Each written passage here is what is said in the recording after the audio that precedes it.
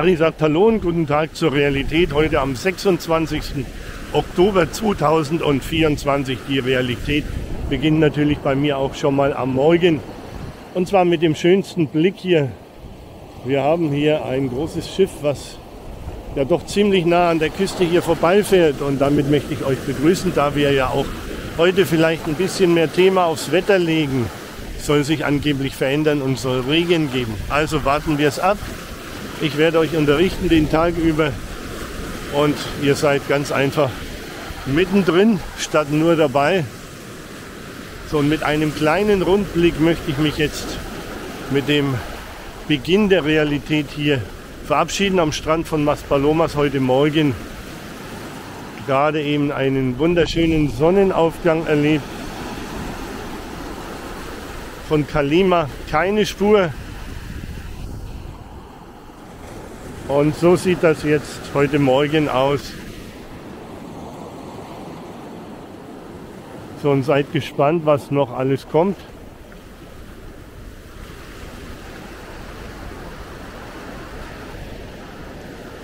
Auf jeden Fall wird es interessant.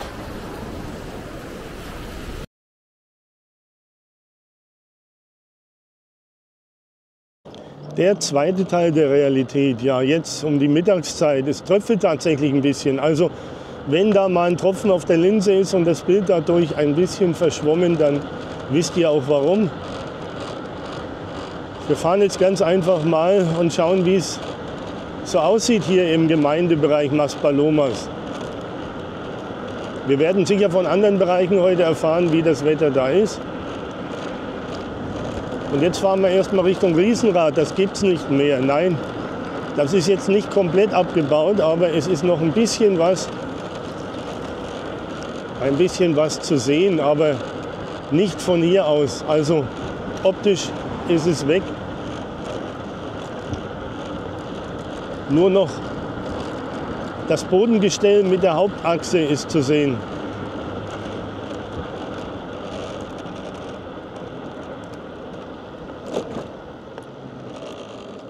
Sicher wird das wieder zurückkommen und in einem wunderbaren Lichterglanz erscheinen. Die machen ja da auch bestimmt was an der Beleuchtung. Also es wird ein bisschen mehr tropfen jetzt hier.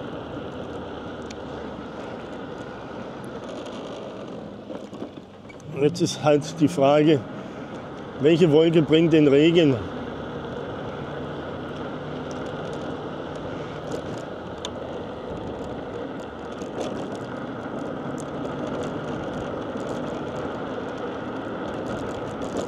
Ist aber jetzt nicht tragisch. Von Regen kann man nicht reden. Nein. Nur die Medien, die spielen das Ganze natürlich ein bisschen hoch dann.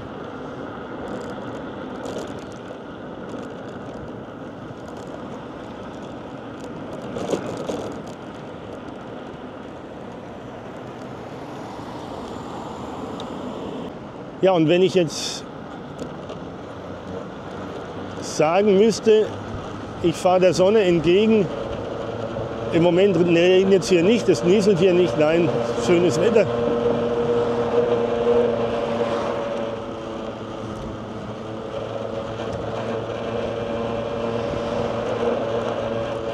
So, und wir sind jetzt hier unterwegs Richtung Playa de Ingles.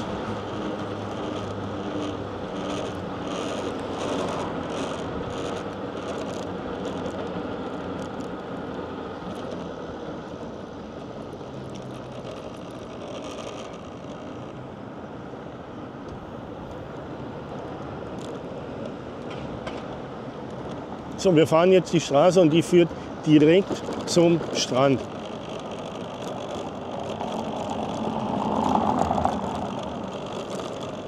Flüsterasphalt ist es nicht. Das ist alles sehr laut hier mit diesem Kopfsteinpflaster.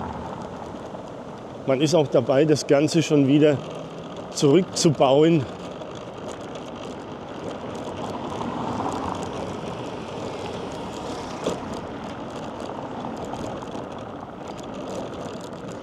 So, die Realität hier am Hotel Neptuno vorbei.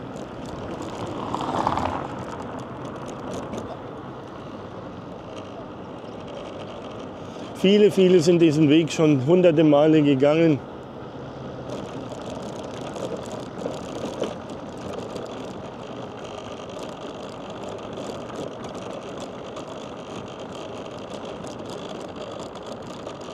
So, wir fahren heute nicht zum Strand, das machen wir morgen. Das heißt, morgen ist wieder Strandtag. An der Kasper hier entlang am Hotel Koka. Hier geht es auch relativ schnell mit einem Fußweg zum Strand. Das heißt, wenn jemand hier wohnt, dann muss er jetzt nicht den Hauptweg, die Straße wählen, sondern er kann hier relativ einfach und bequem an der Kasper vorbei, an der Metro. Der Supermarkt hat noch offen, ich zeige es euch, am Amazonas vorbei.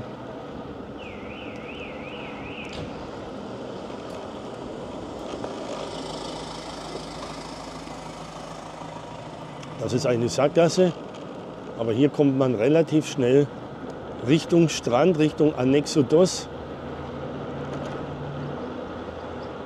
Hier ist es auch beschildert, der Weg zum Strand geht nach links hier. Ich zeige es euch gleich.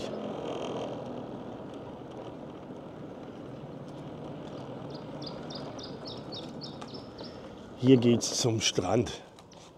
Dann ist man relativ schnell am Anexodos. Bekannt auch dieses Apartmenthaus Las Dunas und das Amazonas. Ja, da gab es mal ein schönes Oberapartment zu verkaufen. Und das war aber auch ganz schnell weg dann. Ja, die Realität heute unterwegs. Wir wollen ja sehen, was das Wetter macht. So, hier das älteste Apartmenthaus, das es in Playa de Ingles oder eines der ältesten gibt, das Las Arenas. Eine schöne Dachterrasse, große Apartments noch, einen schönen Balkon. Also es steht immer ein bisschen im Schatten der anderen Hotels, aber ich sage, es ist schön. Hier am HL Suites vorbei. Das ist übrigens jetzt die Straßenführung geändert.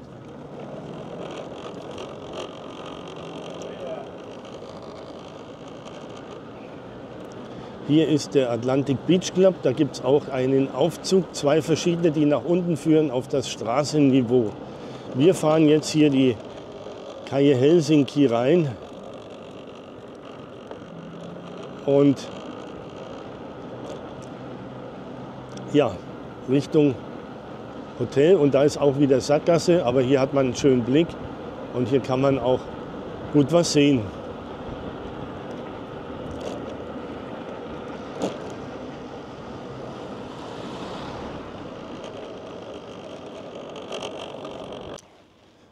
Der direkte Zugang hier am Hotel Coralium Dunamar bei Lopesan Hotels. Und dann sind wir auch schon direkt am Wasser da, wo wir eigentlich hinwollen.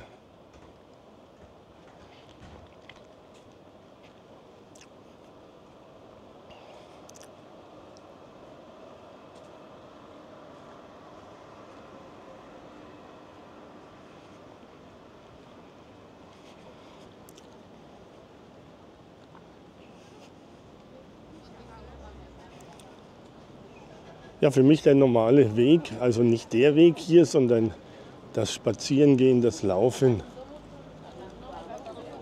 Nero Cocktails and Food, hier das Restaurant. Hier ist richtig was los hier auf der Gasse.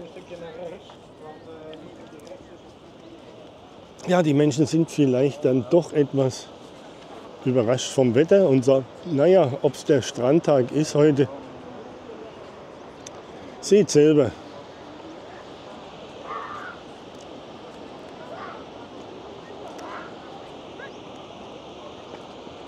hier unter uns wird ja der Strandweg, kann man nicht sagen, der Hang wieder instand gesetzt. Das war ja schon ganz schlimm, wie das ausgesehen hat.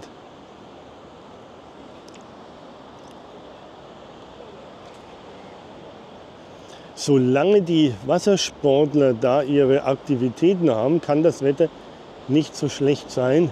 Jetzt schauen wir mal, aber die Bojen sind drin. Mal sehen, ob man ein bisschen was erkennt. Also die Wetterlage, sage ich jetzt mal, Da ist das Schiff von heute Morgen. Glaube ich jedenfalls. So, hier ist jetzt Baustelle. Hier gibt es jetzt sozusagen Erdbewegungen. Richtig massive Erdbewegungen.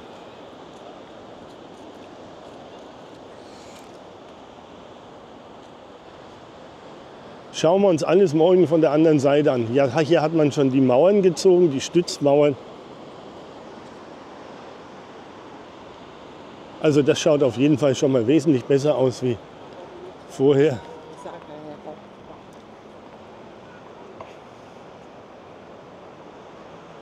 Ja, Baustelle am Strand an Exodus, so heißt sie im Volksmund. Und was dann gemeint ist, das seht ihr hier. Hier wird ein schönes Plateau entstehen, eine schöne Terrasse nehme ich an. Das schaut schon mal ganz gut aus. So, und jetzt geht es wieder in die andere Richtung.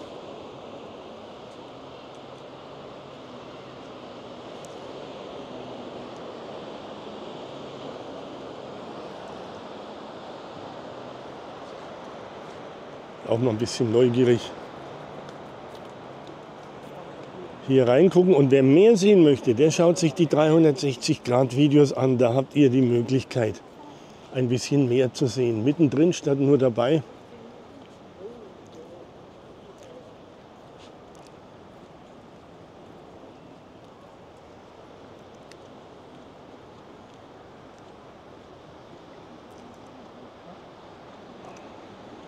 Ja, die Wolken da oben, die verheißen nichts Gutes. Aber dann schauen wir lieber in die andere Richtung. So, hier kommen die Zubringerbusse an, der Strand-Shuttle-Bus, die sozusagen von den Hotels die Gäste hier bringen. Das ist keine offizielle Global-Bushaltestelle.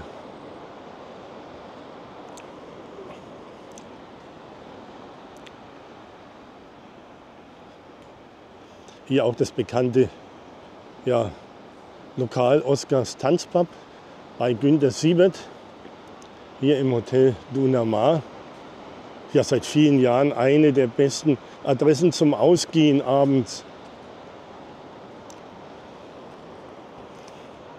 Ja, ich habe Gäste gehabt, die da mehrmals in ihrem Urlaub waren und waren sehr zufrieden. Dann den Tiroler Stadel gibt es, dann die Terrasse vom Lucky Petrus Terrasse. Im Hotel Tropical gibt es eine Tanzterrasse. Also man hat schon ein bisschen Auswahl hier.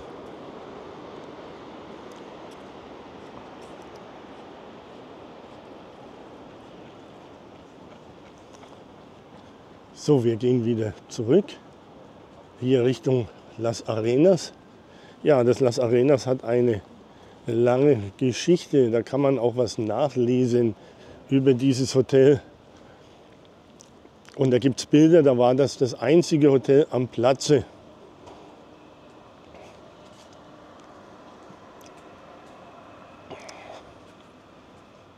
So, und wir fahren jetzt ganz einfach noch ein bisschen in Erinnerung schwelgend. Hier geht es direkt zum Restaurant Nero bzw. zum Oscars Pub.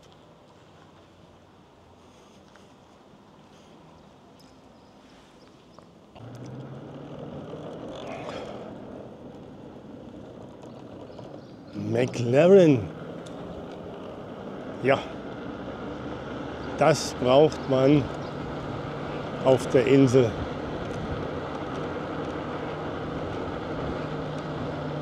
So, hier das Suite Hotel Playa de Ingles, immer eine gute Adresse.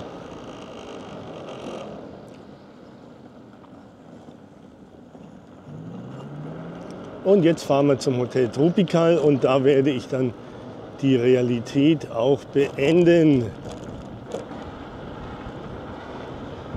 Also und wenn es dann natürlich noch wettermäßig was gibt, dann sind wir ganz klar mit dabei.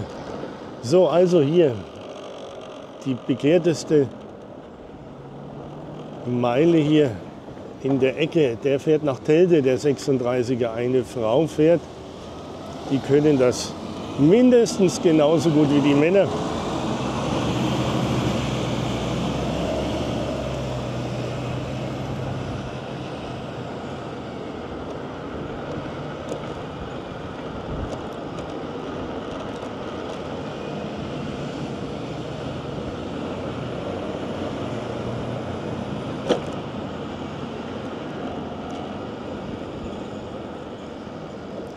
Ja, und das Ausweichen der Busse ist natürlich manchmal nicht so einfach, weil die Touristen mit ihren Leihwägen überhaupt keine Ahnung haben, wie schwierig das manchmal für die Busfahrer ist.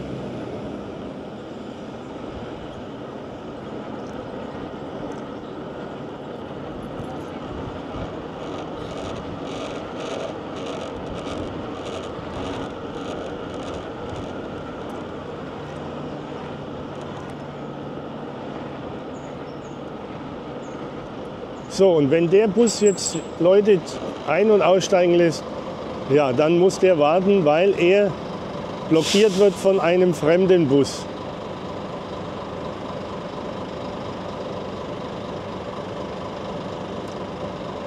Aber das geht eben nicht anders und deswegen nicht aufregen, einfach hinnehmen,